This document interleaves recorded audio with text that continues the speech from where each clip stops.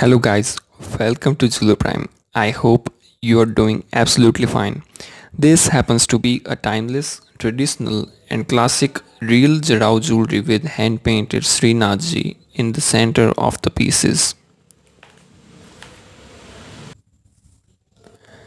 Srinathji is a form of Hindu god Krishna manifest as a seven-year-old child. The aesthetic image brings love, happiness and prosperity.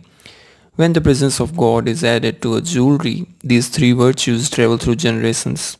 That's why Srinathji miniature artwork is loved by all. Hope you like this video and this masterpiece. Thank you for watching.